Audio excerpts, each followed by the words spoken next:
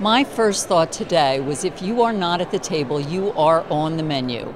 51% of the population of Pennsylvania are women, and we need to be in leadership roles, we need to be making noise, we need to stop asking politely. We have to demand what is rightfully ours because the equal pay has impacts on us as young women, as middle-aged women, as senior citizens. It impacts Social Security, it impacts your pensions, it impacts your ability to, can you take your kids out and treat them to ice cream? It makes a difference what you earn, and we need to start being upfront with this issue.